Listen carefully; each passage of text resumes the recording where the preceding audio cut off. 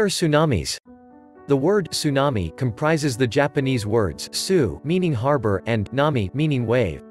A tsunami is a series of enormous waves created by an underwater disturbance usually associated with earthquakes occurring below or near the ocean. Volcanic eruptions, submarine landslides, and coastal rock falls can also generate a tsunami, as can a large asteroid impacting the ocean. They originate from a vertical movement of the seafloor with the consequent displacement of water mass. Tsunami waves often look like walls of water and can attack the shoreline and be dangerous for hours, with waves coming every 5 to 60 minutes. The first wave may not be the largest, and often it is the second, third, fourth or even later waves that are the biggest. After one wave inundates, or floods inland, it recedes seaward often as far as a person can see so the seafloor is exposed. The next wave then rushes ashore within minutes and carries with it many floating debris that were destroyed by previous waves. When waves enter harbors, very strong and dangerous water currents are generated that can easily break ship moorings, and bores that travel far inland can be formed when tsunamis entire rivers or other waterway channels. What are the causes of tsunamis? Earthquakes. It can be generated by movements along fault zones associated with plate boundaries. The region where two plates come in contact is a plate boundary, and the way in which one plate moves relative to another determines the type of boundary.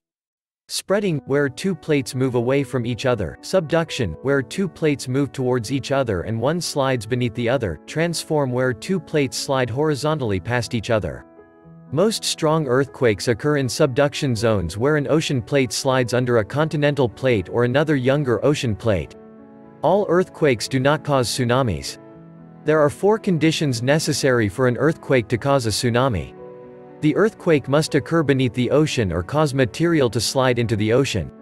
The earthquake must be strong, at least magnitude 6.5 on the Richter scale the earthquake must rupture the Earth's surface and it must occur at shallow depth, less than 70 kilometers below the surface of the Earth. The earthquake must cause vertical movement of the seafloor up to several meters.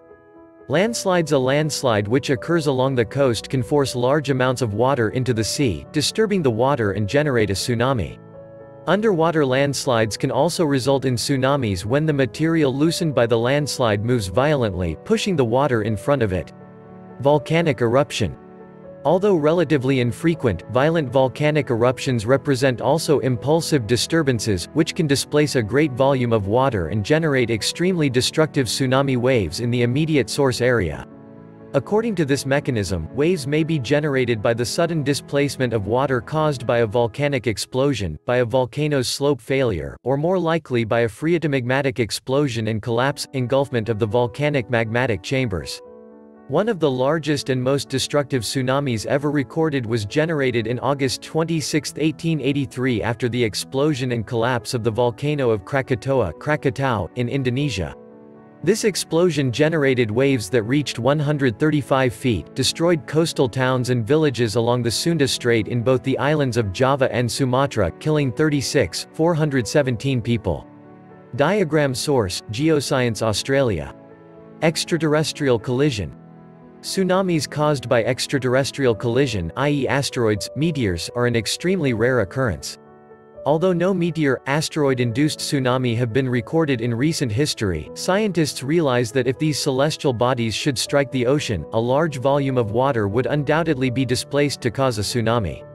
Scientists have calculated that if a moderately large asteroid, 5 to 6 kilometers in diameter, should strike the middle of the large ocean basin such as the Atlantic Ocean, it would produce a tsunami that would travel all the way to the Appalachian Mountains in the upper two-thirds of the United States.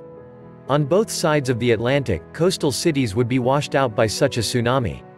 An asteroid 5 to 6 kilometers in diameter impacting between the Hawaiian Islands and the west coast of North America, would produce a tsunami which would wash out the coastal cities on the west coasts of Canada, US and Mexico and would cover most of the inhabited coastal areas of the Hawaiian Islands.